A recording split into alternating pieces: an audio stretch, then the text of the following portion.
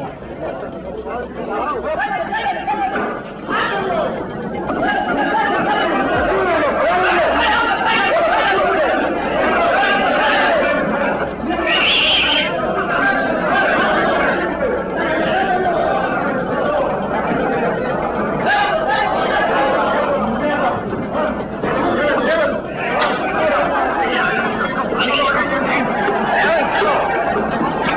Las fuerzas policiales arremetieron y lanzaron gases lacrimógenos contra varios cientos de seguidores del gobierno constitucional, quienes permanecen frente a la casa presidencial en Tegucigalpa.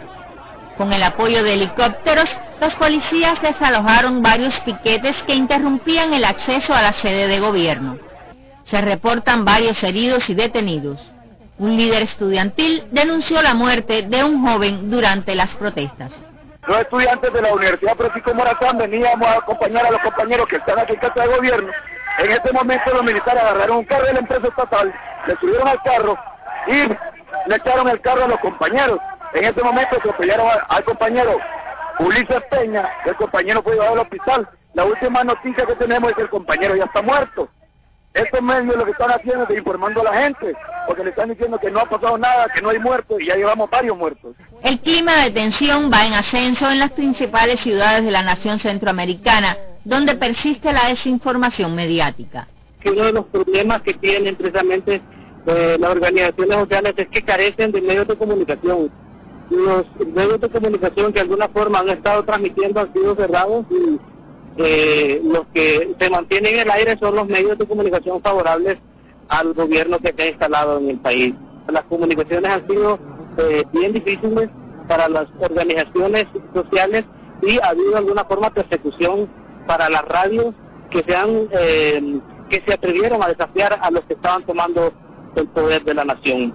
Radio Juticalpa, una radio del departamento de Olancho, fue agredida, fue atacada a balazos la madrugada del domingo y posteriormente, cuando iniciamos transmisiones ese día eh, a nivel departamental, cuando de, pasadas unas horas llegaron los militares y, se apropiaron de la radio y, pues nos, nos eh, impidieron que siguiéramos transmitiendo lo que estaba pasando a nivel nacional. Fueron cerradas las emisoras alternativas e independientes que no acompañan a los golpistas. Las televisoras que están al aire transmiten telenovelas u otra programación que nada tiene que ver con la situación política que vive Honduras. También se impide el acceso a la capital de los campesinos, trabajadores e indígenas que se quieren sumar a las manifestaciones de respaldo a Manuel Zelaya. Son 230 comunidades indígenas de la zona occidental del país que venían en bus a acompañarnos y la policía los tiene detenidos y no permite el paso.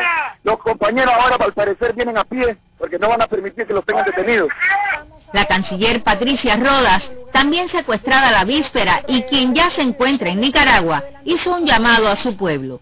Un llamado a todo nuestro pueblo, sostener la resistencia, sostener el paro, sostener la movilización permanente pacíficamente. Somos un pueblo pacífico. No vamos a golpear, no vamos a violentar, no vamos a matar, no vamos a herir, vamos a resistir estoicamente. Y eso será el gran ejército que venza la perversidad que se ha montado en nuestro país y que no vuelvan los que en el al pasado reciente desaparecieron jóvenes y asesinaron jóvenes y ahora quieren ser los voceros de ese grupito de facto. Eh, en ese sentido, nuestro pueblo siempre saldrá victorioso, siempre saldrá vencedor. Pese a la desinformación y a la represión, reportes de prensa dan cuenta de que las organizaciones sociales mantienen el llamado a la huelga general y a la resistencia popular. Daniel Diez Redacción Internacional.